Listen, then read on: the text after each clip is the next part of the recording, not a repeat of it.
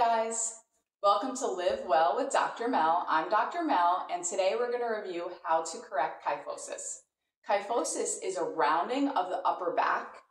This can happen due to mostly occupational, if you have a job that you're in this position for a long time, or if you're a heavy cell phone user and you're constantly looking down and keeping your back rounded, you can start having difficulty standing up straight. So I want to show you a few basic exercises to help correct this so you don't have pain down the line. Well, you came to the right spot and let's get started. So the first exercise is a scapular squeeze. So if you put your hand in between your two shoulder blades, that muscle is your rhomboids. So the goal is to contract your rhomboids so you can bring your shoulder blades together and that will allow the front of the chest to open. So you hold three to five seconds, and then release. You can pretend you have a grape or a pencil in between your shoulder blades, and you're trying to hold it. You're trying not to let it drop for five, four, three, two, one, and release. You can repeat that five to 10 times for three to five second holds. You can do it two to three times a day to help stretch the front of your chest so you can stand up straight.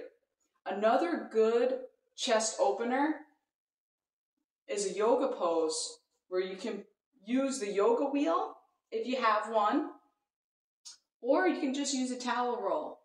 Either one, just as beneficial. So you place the wheel right in that, that spot in between your shoulder blades. And you can lay down on the floor or on a table if it's hard for you to get up and down from the floor.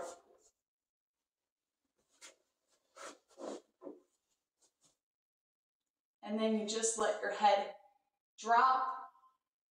You can spread your arms apart to get a nice stretch in your pecs. And then you can hang out here for three to five minutes. You just let everything melt down towards the ground. Feel a nice chest opening.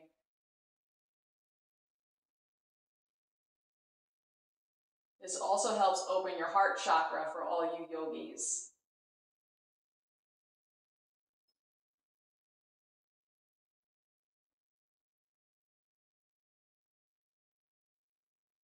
After stretching there for three to five minutes, I think you're gonna see a huge difference in your posture. So try to incorporate those maybe before you go to work, after you go to work, and if you can shove one in during your work break, you're gonna feel so much better. I hope this helps. See you again soon. Bye.